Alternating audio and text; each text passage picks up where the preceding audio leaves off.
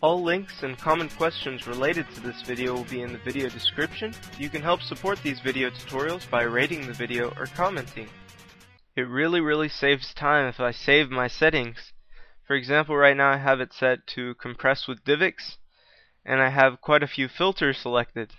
But if I close VirtualDub and open it again and I check my compression now it's set to uncompressed and the filters I had set are gone.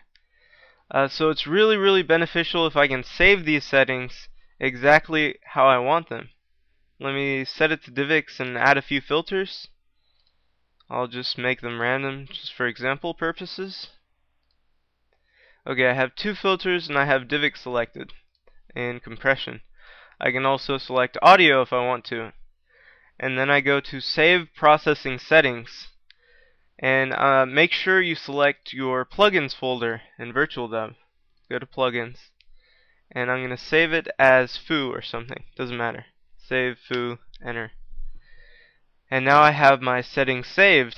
Now when I go close VirtualDub and open it again, it may not open it automatically. See, it's uncompressed right now. But if I go to load settings, and then I go to my plugins directory in VirtualDub, and load foo.vcf that I just saved, uh, you can see it remembered all the plugins I set and the compressions I set for the video and audio codecs. You can make it automatically load uh, some kind of settings by just making a shortcut.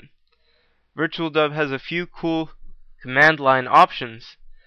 Uh, just right click VirtualDub, create shortcut, to drag it onto my desktop, it doesn't really matter. I'm going to go to properties and I'm going to add a command line option. I'm going to say slash s for settings and then the location of the settings. It's in the directory of plugins and the name is foo.vcf and I click apply. Now when I open it again and I go to video filters I can see that it remembered my settings now every time I go to VirtualDub, it's going to be uh, exactly how I want it and it's over again. And I don't have to reset the compression options all over again. Anyways, thanks for listening.